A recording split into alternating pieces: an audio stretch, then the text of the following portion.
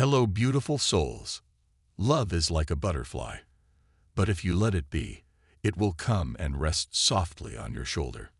When I am with you, time stands still, and every moment becomes a beautiful, unforgettable memory. True love is not about perfection. It's about accepting each other's flaws and growing together. You are the missing piece that completes my puzzle of love. Outro. I'm in love with your smile, your laughter, and the way you make me feel alive. Love is not about grand gestures.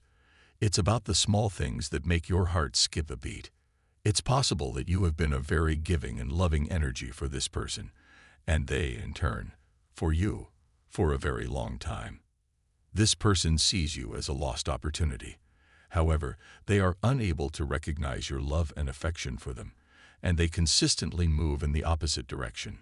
Love is about accepting an imperfect person perfectly. It's not about finding the perfect person. It's about loving an imperfect person perfectly. Love is like a butterfly. The more you chase it, the more it eludes you, yet you didn't give up on them, even though they kept choosing someone or something else over you. You always give your best to this person and are there for them any time they need you. But you never receive anything in return, not even this person's presence in your life when you most need them. This person is completely mesmerized by your ideas and the way you live your life.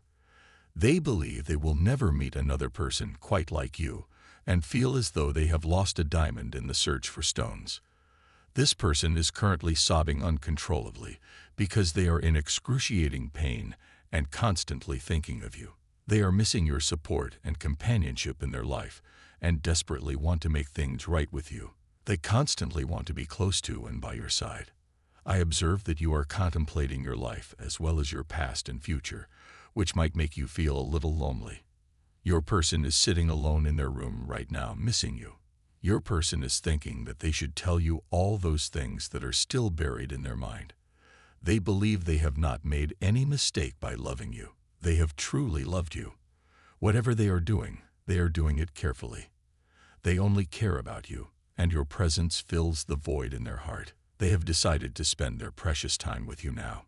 Your person says that they like you a lot, and they have made complete preparations to be with you.